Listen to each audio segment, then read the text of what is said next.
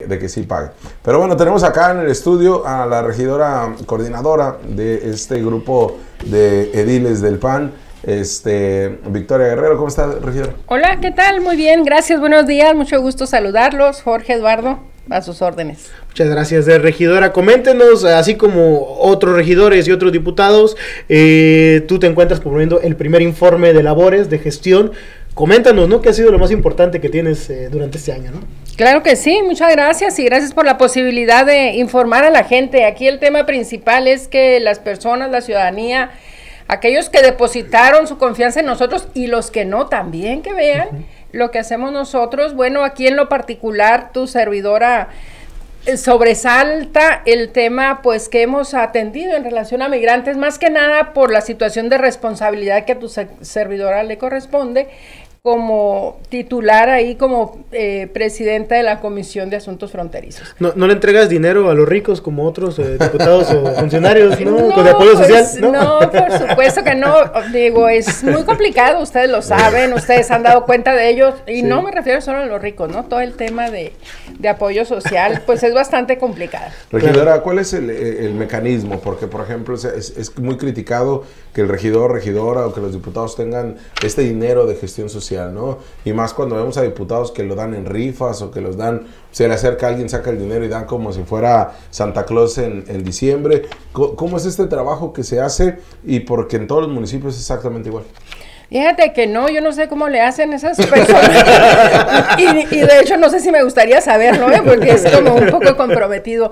Aquí la situación es que vienen los ciudadanos con nosotros, tienen que cubrir una serie de requisitos de acuerdo a los conceptos que vienen en la norma técnica que está al cuidado de la propia tesorería. Ellos tienen que cubrir requisitos y tenemos topes de entrega.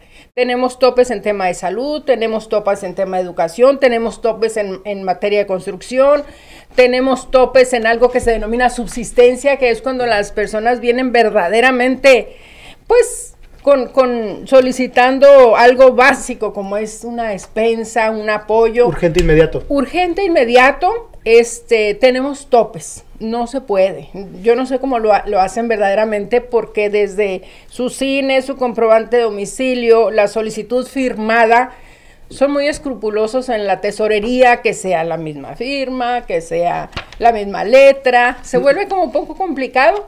Este, está bien, desde el punto de vista de la fiscalización y de la revisión del ejercicio del gasto público, pero a veces es excesivo porque tú ves gente que viene que no puede firmar, gente que está contracturada, que no tiene esa posibilidad y bueno, hay que llevarlos abajo. Entonces, en lugar de agilizar situaciones de ese tipo, se vuelve como un poco burocrático el tema. ¿No le entregas el apoyo a tus, a tus asesores o a tus amigos? No, no, fíjate que yo... ya, ha pasado. Yo sobre, yo eh, resalto aquí el tema de que por convicción propia y por un tema de optimizar la entrega de los recursos, he estado acercándome a las instituciones educativas.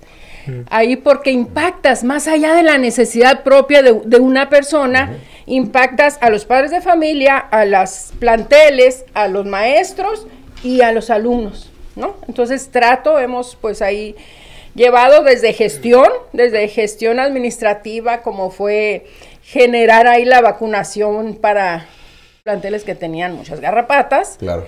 Llevamos ahí para tratar de quitar el tema de la riqueza, con la situación de los aparatos de refrigeración que no llegaban, también me, tocó apoyar. todo esto a través de un proceso que tienes que ir a tesorería para, para acreditar que se va a hacer la mejor utilización del recurso. Regidora, y por ejemplo, en el caso del presupuesto que se viene, eh, ya fue aprobado el proyecto, ya sería en el Congreso del Estado que definan si lo regresan o se va, pero algún cambio, modificación que le hubieran hecho ustedes como ediles del PAN. Fíjate que sí, afortunadamente y no solo como Acción Nacional, también con el bloque que tenemos ahí, al que pertenecemos de oposición, quitamos el tema de la licencia comercial, ah. que aquí la autoridad en términos de su propuesta es ir y cobrar por hacer ese censo. Nuestra postura firme, firme, y agradezco también a todos los regidores, era, primero hazlo, primero dinos cuál es el padrón, primero dimes a quién, dinos a quién vas a, afectar eventualmente o a quién le vas a exigir un pago. No digo que no sea procedente, pero primero tenemos que tener ese universo para ver quiénes son, cómo están y de ahí empezamos a ver qué es lo que sigue. ¿Quién va a querer registrarse para que te cobren, no? ¿Saben qué? A mí me siempre, y yo lo comenté ahí en las mesas, yo me parece como que de entrada como autoridad le queremos trasladar una obligación que es nuestra. Es nuestra. Nosotros, por orden dentro del propio ayuntamiento, deberíamos de tenerlo. No lo tenemos, pues no les traslademos a ellos algo que debiera de ser en principio de nosotros. Sí, así pasó con, ¿te acuerdas con los centros de rehabilitación y todo cuando después del incendio este de, de, del asilo? Que y logró, le, logró la diputada del PAN, Eva María Vázquez, que no se, le, se les exentara un cobro, que también era, ven, regístrate y te vamos a encajar el diente, ¿no? Y en, en el tema de seguridad, ¿qué nos puede decir este, regidora después de lo que aconteció en La Rumorosa y todo lo que se pretende hacer hasta con un retén para acá, para Mexicali? Jorge y Eduardo, yo creo que todos coincidimos en eso, aunque no quisiéramos, creo que no avanzamos. El Ayuntamiento de Mexicali me consta, a ustedes les consta, hemos, nos hemos esforzado como cuerpo colegiado en darle todo el apoyo económico que sea necesario, todo el acompañamiento, todo el estar pendientes en cómo les ayudamos, qué hacemos, porque también es nuestra responsabilidad. En el tema de, de, nuestra fracción, ustedes saben también que pues les allegamos a una situación que se vio muy criticada, ¿por qué no decirlo? Lo pusimos a disposición de seguridad pública, que es lo más apremiante, lo más urgente. Sin embargo, pues Hoy lo vemos que desafortunadamente, no sé si falte modificar las estrategias en caso de que ya esté operando alguna estrategia, hace falta hacer algo más. Y no quiero entrar a la situación de competencias de que si esto es del Estado, esto es de la Federación. Lo tienen todo. Esta administración lo tiene todo. Y lo que más se encarga de publicitar es una aparente coordinación que al menos en los hechos no se ve reflejada. No voy a decir si existe o no existe. La ciudadanía quiere resultados. Claro. En el tema de, migrantes que comentabas, que es donde más has enfocado eh, tu trabajo, eh, vivimos una crisis este año, que es una crisis igual que el año pasado y el año anterior y el año anterior. Tenemos muchos años realmente con una situación compleja de, tema migratorio. ¿Qué se ha hecho en este tema? Y bueno, por tu lado como, como, como regidora y por otro lado como, como gobierno municipal, ¿no? ¿Qué, ¿Qué han logrado hacer para tratar de contener lo que es evidentemente una crisis y que pareciera que el gobierno federal por lo menos ha, le ha dado la espalda por completo al tema, ¿no? Sí, mira, primero mm, iniciaré con lo que hace, qué ha hecho el ayuntamiento. A mí me parece que la maestra hizo unas acciones humanitarias, humanitarias en sacar adelante el tema, que a partir de diciembre del año anterior pues se vio muy comprometido. Ella hizo todo lo posible, eso sí hay que hay que agradecérselo, hay que reconocerlo. Sin embargo, también nos queda otra pregunta. ¿Realmente fue lo correcto? ¿Por qué, propicias? Que al que le corresponde se quede en una zona de confort. Seguimos quedándonos con este balón ahora de que, pues te toca, ya lo atendiste. Hoy yo veo a la maestra con una actitud como mucho más propositiva en el sentido de, de que debemos deslindar las competencias de cada quien y las responsabilidades. Eso es en cuanto a ellos. En cuanto a tu servidora, decirte que presenté yo una iniciativa para crear una unidad de atención al migrante. Esto es en términos legales, está en la ley. ¿Qué estoy planteando yo? Que exista sin engrosar nómina.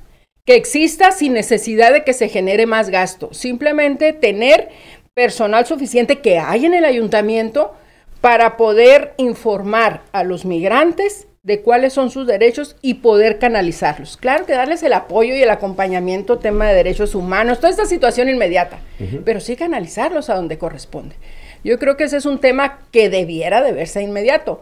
Pasamos el tema de los migrantes el año pasado, pero hoy los refugios, hoy los albergues están igual. Hoy no se llaman migrantes, hoy son desplazados de nuestro país. Entonces es un tema muy complicado que debiéramos atender el fondo, que no es solo cuestión del ayuntamiento. Regidora, gracias. Gracias por andar Al contrario, muchas gracias. y le voy a poner una tacha porque sale aquí en las imágenes el programa del Villa nada más, ¿eh? ya me di cuenta. Claro, evidentemente. Eh, ¿A poco tú tienes programa? Oye, era porque no, no, no, no pudo llenar ese espacio. Yo quiero que me digas cuándo me invitaste. Sí, a ver, ¿cuándo lo has invitado? ¿Cuándo lo has invitado? Se fue. No, para que veas. Se fue con un líder comercial, ¿verdad? Ay, también ahí tenemos. Pero nadie, lo, pero nadie lo ve ese. No, ya, no, no, lean el folleto de. es un folleto, está en redes sociales, ¿no? Yo se lo pongo aquí, yo se lo pongo aquí. Muchas gracias. Está al alcance de la mano Ah, no, la idea sí, es sí. que las personas vayan al Facebook, vayan a Instagram, está íntegro, tiene las ligas de las iniciativas, que está para que la gente lo vea, que lo Perfecto. valore y se aceptan todo tipo de comentarios, propuestas y observaciones. Bien hecho por la foto, bien hecho por la foto. Le agradezco mucho. Y pues Vamos a una bueno, pausa. vámonos a una pausa ahí.